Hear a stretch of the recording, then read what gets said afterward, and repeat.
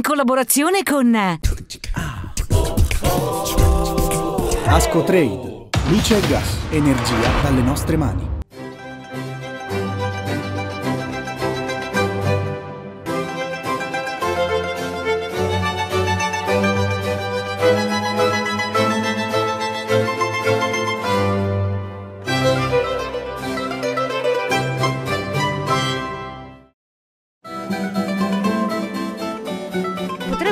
Questo l'anno della pizza. Entro la fine del 2017 l'UNESCO, l'Organizzazione delle Nazioni Unite per l'Educazione, la Scienza e la Cultura, potrebbe dichiarare l'arte dei pizzaioli napoletani patrimonio culturale immateriale dell'umanità.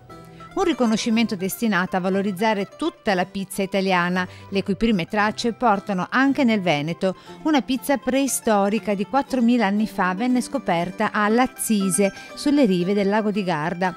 Ma sono tanti i luoghi dove sarebbero state preparate e gustate le prime pizze. Piacevano, stando al mito, anche gli dei dell'Olimpo, in particolare a Venere, la dea della bellezza e dell'amore, e al marito Vulcano, dio romano del fuoco e comunque la Campania con Napoli in testa, la terra felice della pizza. Nel Veneto si è attorno alle 6.000 pizzerie, nelle quali si lavorano e si consumano sempre più prodotti tipici del territorio, una ricchezza per la nostra campagna. Viva dunque la pizza! Viva la pinza, il piatto degli dei!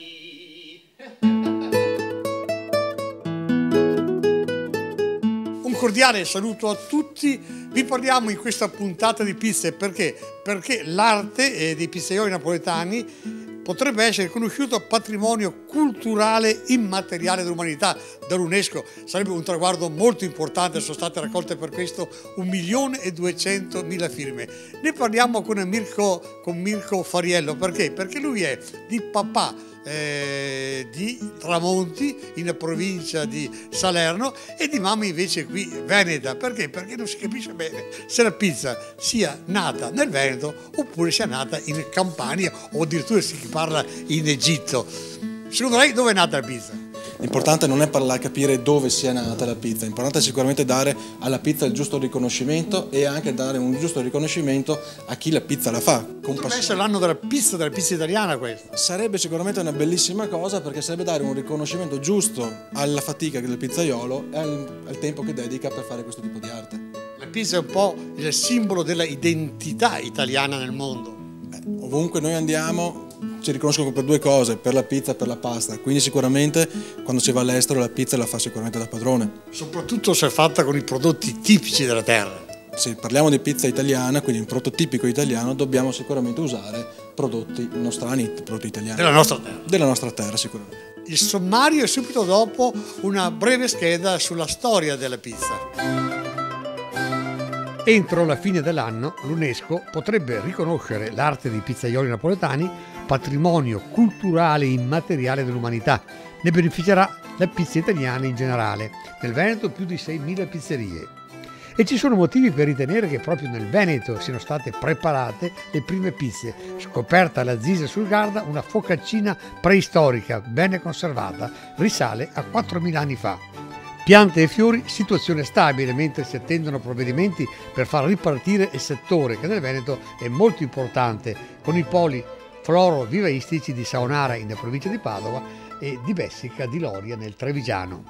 Con la CIA di Venezia facciamo il punto sugli allevamenti di bovini da carne nel Veneto orientale, stalle modello con una grande attenzione per il benessere animale. Finalmente un po' di pioggia dopo tanta siccità. Tra la fine del 2016 e del mese di gennaio sono calate del 97% le piogge rispetto alla media nel Veneto. Reti anti-insetti per contenere la cimice asiatica e la drosofila, i terribili nemici dell'ortofrutticoltura, un convegno a Verona. Cresce il disagio nelle campagne, per l'86% degli agricoltori il reddito è in fase di peggioramento sicurezza idraulica, lavori per prevenire frane in canali del Basso Veronese.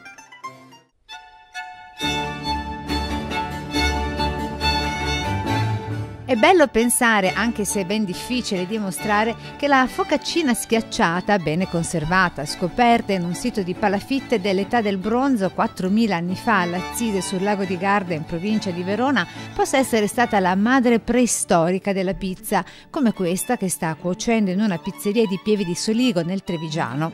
Eppure ci sono studiosi che confermerebbero l'ipotesi. Dunque la pizza potrebbe essere originaria del Veneto e i paleoveneti sarebbero stati tra i primi a prepararla e gustarla. Storia o leggenda a parte, in provincia di Verona oggi ci sono pizzaioli tra i più prestigiosi d'Italia, dei quali è riconosciuta la grande professionalità e creatività tanto che si impongono nei concorsi più autorevoli a livello nazionale e internazionale. Nel Veneto si contano oltre 6.000 pizzerie, il numero comprende anche quelle stagionali, aperte in località di mare o di montagna. In Italia supererebbero le 50.000 unità, con 100.000 lavoratori fissi, ai quali se ne aggiungono 50.000 nel fine settimana. Stando ad alcune stime recenti, in Italia si sfornerebbero ogni giorno 5 milioni di pizze un miliardo e mezzo di pizze all'anno. Sono gli Stati Uniti il paese dove si consuma più pizza, più di 13 kg a testa. In Italia siamo attorno ai 7,6 kg a testa. La pizza è considerato il prodotto gastronomico italiano più conosciuto al mondo, il simbolo più cordiale dell'identità nazionale.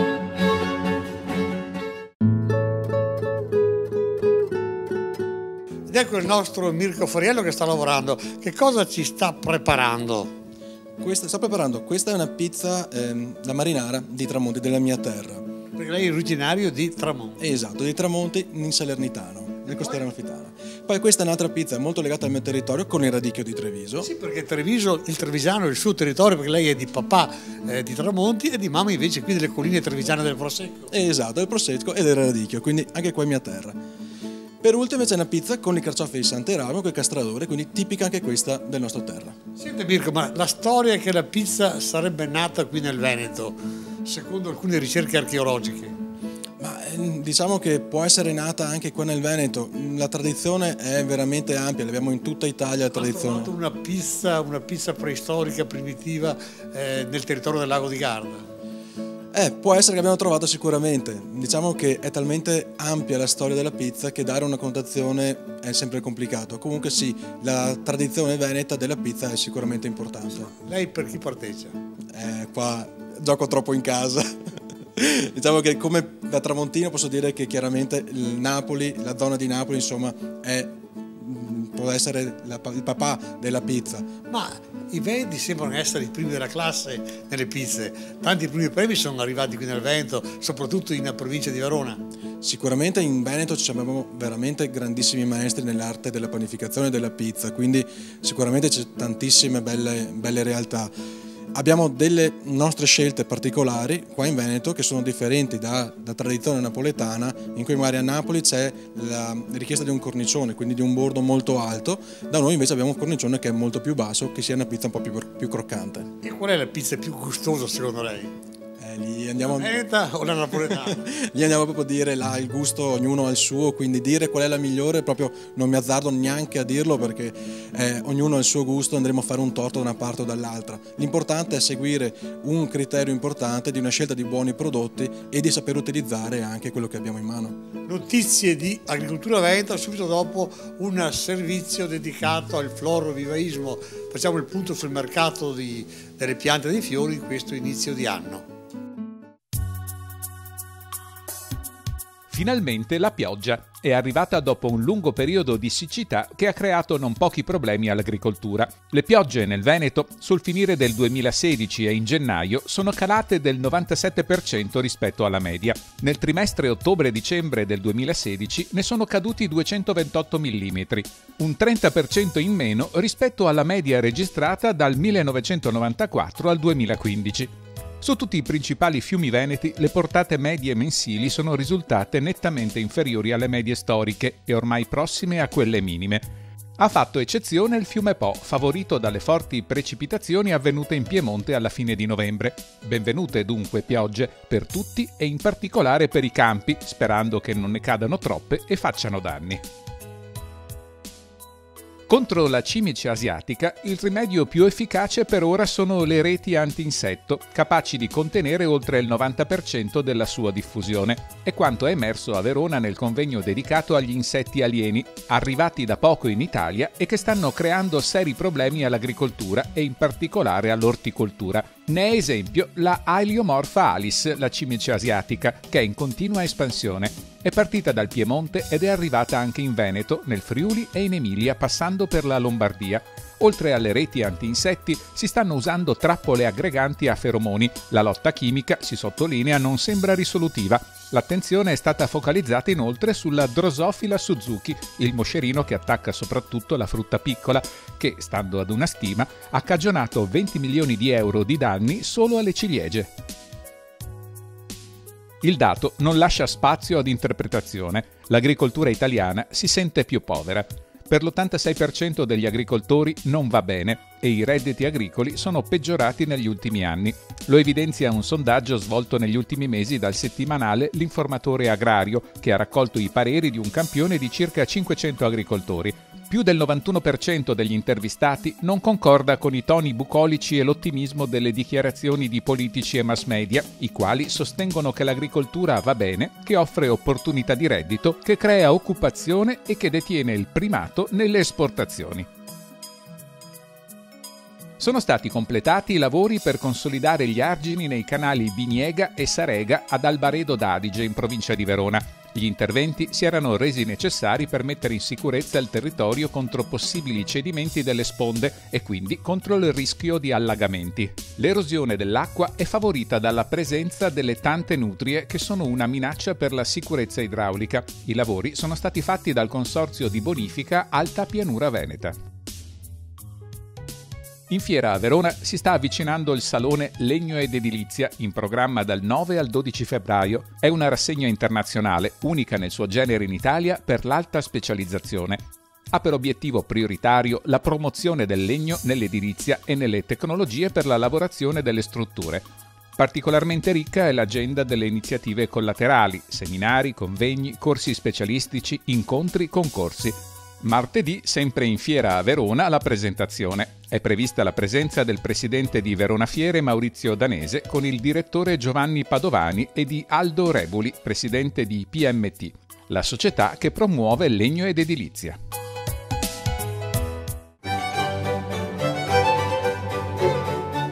Tempo sostanzialmente stabile per il settore piante e fiori nel Veneto. Dati negativi si compensano tutto sommato con altri che fanno intuire un possibile miglioramento della situazione. Piante e fiori sono venduti in particolare nelle feste o in occasioni di ricorrenze, San Valentino, Natale, Pasqua, festa della mamma, festa della donna, festa dei santi.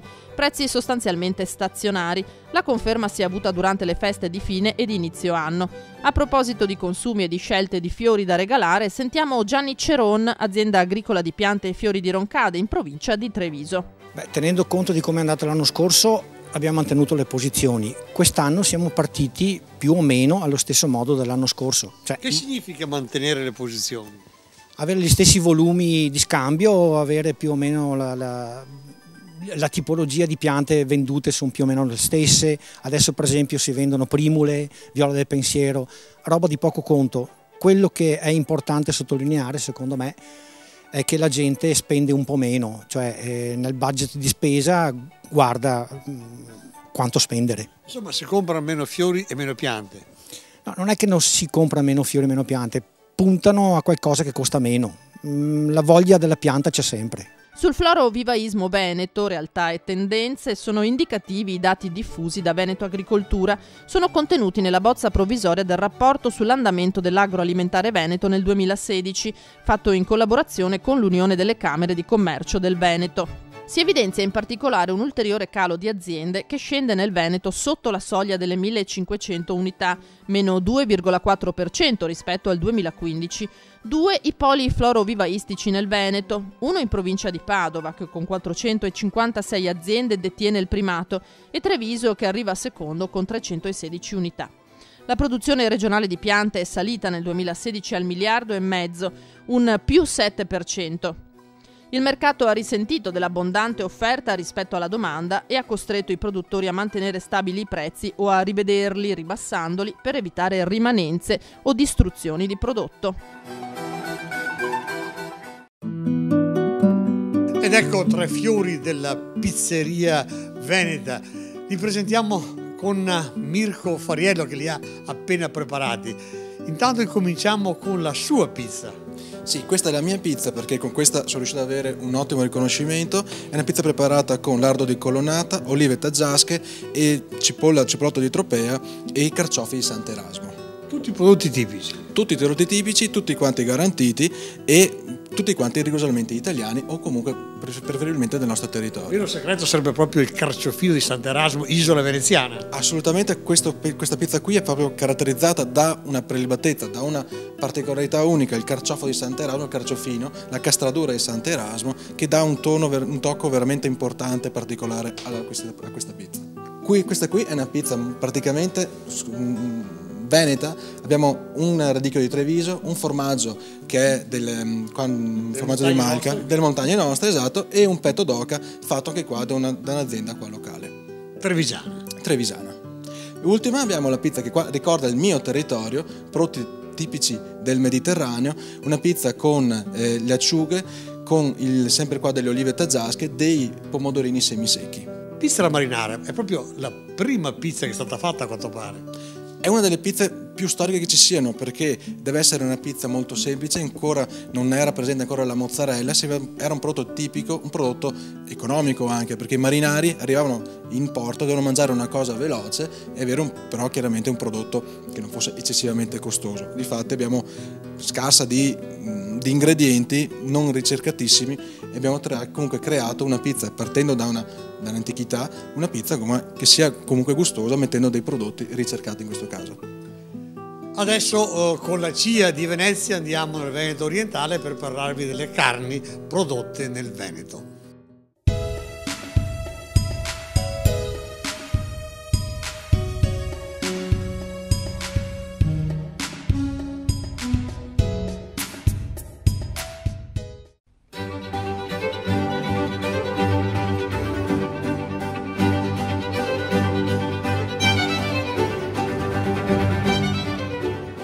Allevamenti di bovini da carne del Veneto sono ritenuti primi della classe per qualità, per il benessere animale che viene garantito, per la gestione aziendale.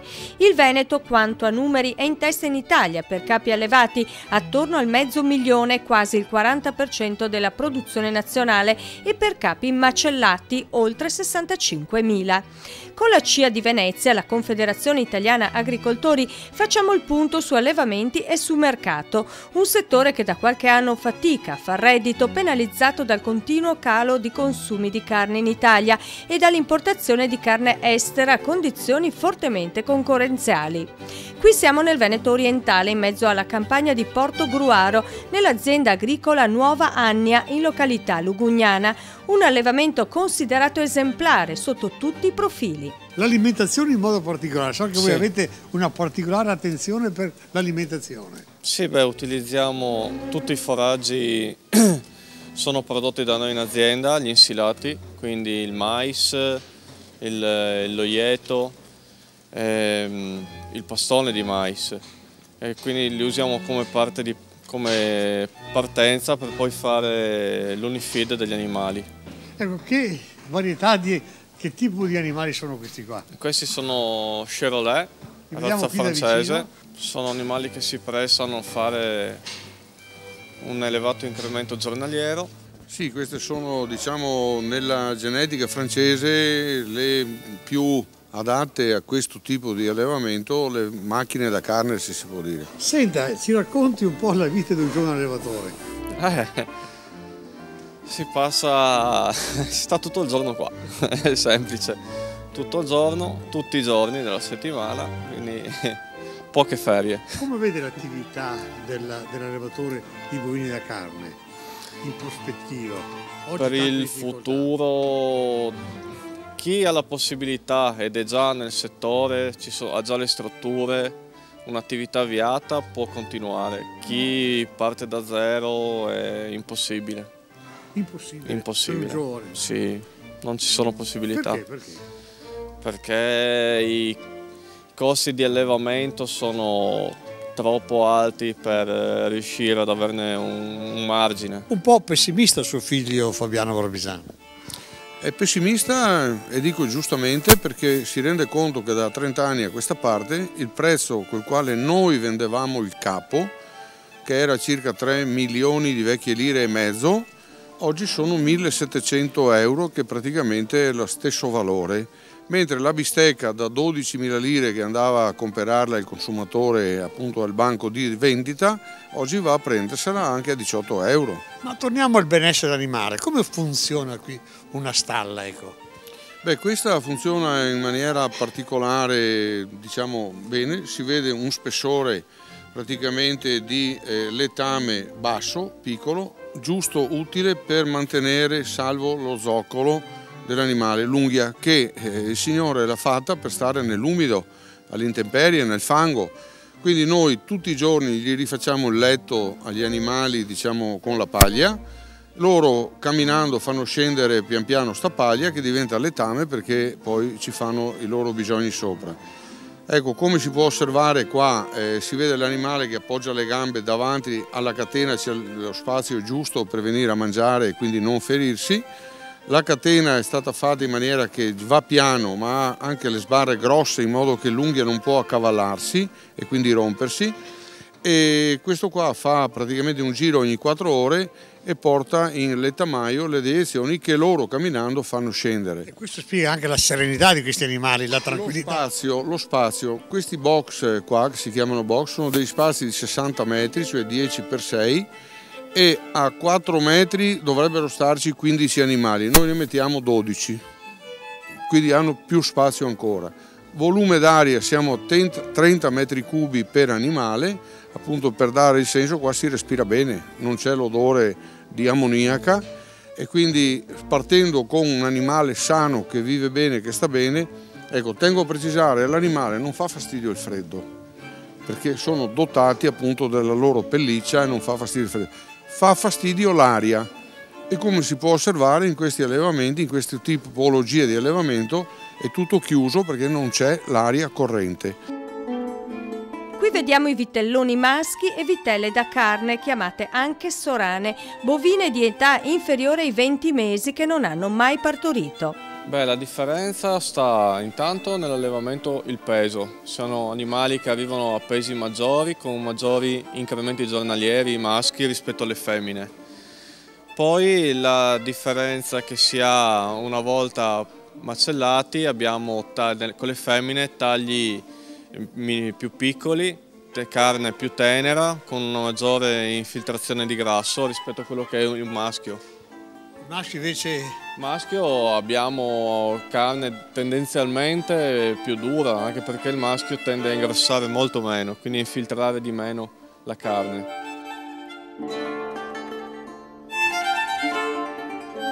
In questo moderno impianto di biogas il letame e il liquame degli allevamenti sono trasformati in energia elettrica e in ottimo fertilizzante.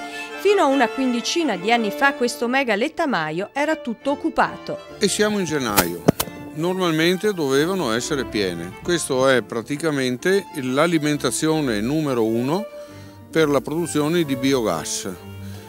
Una volta andava direttamente in campagna, adesso va in campagna, dopo essere stato diciamo spremuto, lavorato, utilizzato la parte appunto di fermentazione che ha il letame, invece di mandare il metano libero in atmosfera con la sua fermentazione qua, va dentro alla, al biodigestore. A questo punto il letame è una doppia ricchezza per l'azienda. Il letame, il letame, diventa la doppia ricchezza, la parte che appunto la storia diceva il contadino che vende letame miseria sicura, invece noi non solo non lo vendiamo ma viene riutilizzato e fermentato sicuramente è un emendante migliore per il terreno.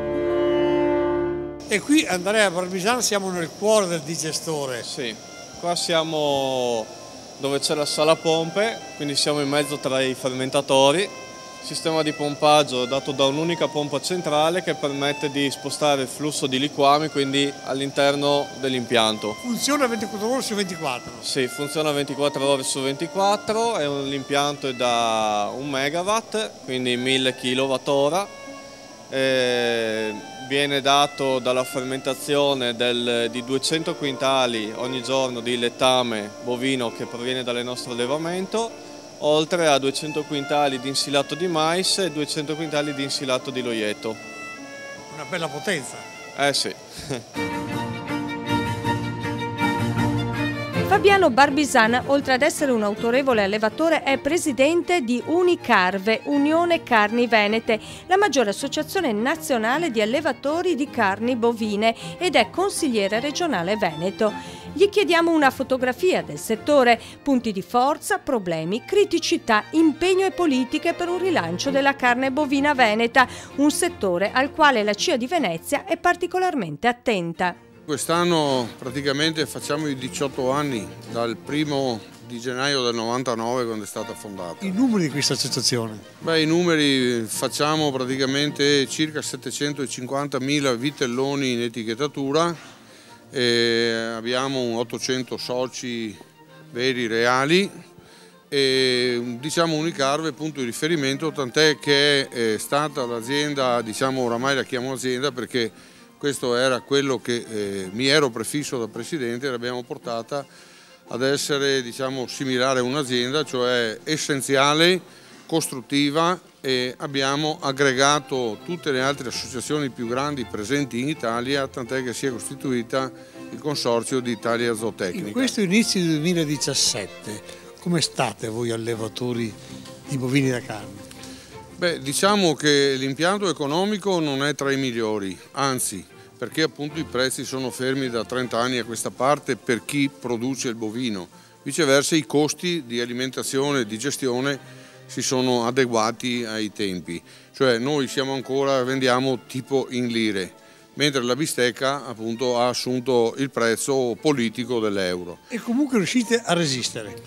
Pochi, pochi, nel senso stalle attrezzate, allevamenti organizzati, tirando al massimo diciamo, quelli che sono i costi, ottimizzando tutto quello che ci può essere possibile. Fabiano, lei è anche consigliere regionale, la politica che può fare il vostro supporto? Eh, la politica, beh, come consigliere regionale eh, mi fregio di aver contribuito in prima persona appunto a eh, organizzare diciamo, la legge per istituire il marchio qualità verificata, un marchio della regione Veneto che eh, tocca tutti e quattro, diciamo, eh, carne, pesce, eh, latte, latticini e ortofrutta. Ma questo marchio funziona a prospettive? Questo marchio ha prospettive di funzionare, eh, è l'ultima speranza che abbiamo noi produttori di carne come anche i produttori di latte perché i mercati chiaramente oramai sono adeguati anche ai paesi dell'est e quindi bisogna prenderne atto dove là hanno costi naturalmente inferiori e noi cerchiamo appunto utilizzando questo Mario, cioè la base è far sapere al consumatore quello che va a prendere. Per il settore bovini da carne, come per tutta l'agricoltura della provincia di Venezia, si sta lavorando sul fronte della qualità, dell'innovazione, della identità e distintività. Il percorso è obbligato per un'agricoltura competitiva e redditizia, come spiega Paolo Quaggio, presidente della CIA di Venezia. Beh, per la CIA sicuramente la qualità prima di tutto. E il sostegno che la nostra associazione fa alle aziende che producono qualità, che sono la maggior parte non solo nel Veneto ma in Italia, è fondamentale. Eh, bisogna però che eh, il, il, contatto con la grande distribuzione sia un contatto un po' diverso, nel senso che venga valorizzata lo sforzo che fanno le aziende proprio per portare eh, la merce e il prodotto di qualità sulle tavole dei nostri consumatori. Ma il processo di qualità a che punto è in questo momento qui nel Veneto? Eh, il processo di qualità è ancora secondo me molto valido, eh, c'è anche un eh, sistema di qualità verificata proprio a livello regionale che secondo me deve, è un buon sistema, deve solo funzionare probabilmente meglio, però eh, le aziende devono credere in questo perché è fondamentale che la qualità venga tutelata proprio dalle aziende per prime.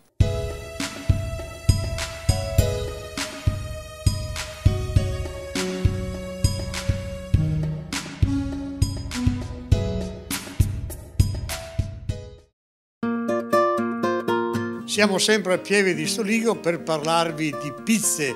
Siamo nell'anno in cui l'arte dei pizzaioli napoletani potrebbe essere dichiarato patrimonio mondiale dell'umanità, patrimonio culturale immateriale. Abbiamo parlato di carne, Mirko Fariello. Buona la carne veneta. Assolutamente ottima la carne veneta. Ma, ma si usa in pizzeria la carne? Si può usare, c'è un, un, progetto che è proprio quello di mettere la carne sopra la pizza. Chiaramente dobbiamo fare un prodotto in cui la carne sia la regina, quindi valorizzare una cosa eccezionale potrebbe essere fare una buonissima tagliata, quindi una carne veramente gustosa con dei porcini freschi da mettere sopra la pizza e fare in modo che la pizza sia servita. Le pizze che vanno per maggiore oggi? Allora, è una domanda veramente complicata. Sempre il discorso tradizione, innovazione? Eh, abbiamo sia una ricerca dell'innovazione, sia una ricerca comunque della tradizione, prodotti, le pizze, quelle tradizionali, sia anche una ricerca di prodotti alternativi da sopra l'intolleranza alimentare, non so se quella è una cosa che sta andando veramente, sta dando veramente tanto successo, tanto, tanta richiesta quello che però mi viene da dire sempre è che la ricerca è più che altro di prodotti tipici nostrani e della, di stagionalità. Questo è molto importante. Assolutamente molto importante. Infatti radicchio in questo momento è richiestissimo, tra poco ci sarà l'asparago, il carciofo, prima ancora, quindi prodotti che devono seguire la stagionalità, quindi sempre freschi. Siamo in conclusione, come sempre lo facciamo con un detto veneto. Mirko Fariello ne ha uno così a portata di mano? Sicuramente uno che può essere azzeccato è sette volte fa, Abbiamo fatto una pizza con il prosecco, però all'interno dell'impasto basta volere, si può fare tutto. Insomma, basta volere e si cammina. È tutto appuntamento con Agricoltura Veneta la settimana prossima.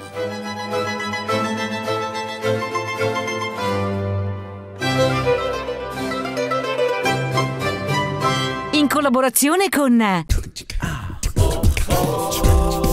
Asco Trade, luce e gas, energia dalle nostre mani.